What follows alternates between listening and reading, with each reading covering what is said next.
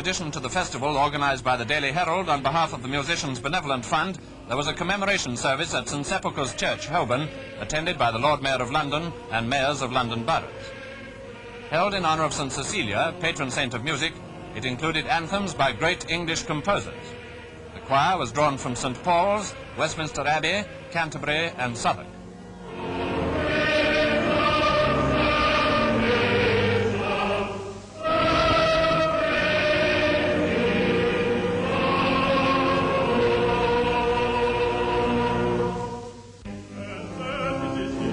The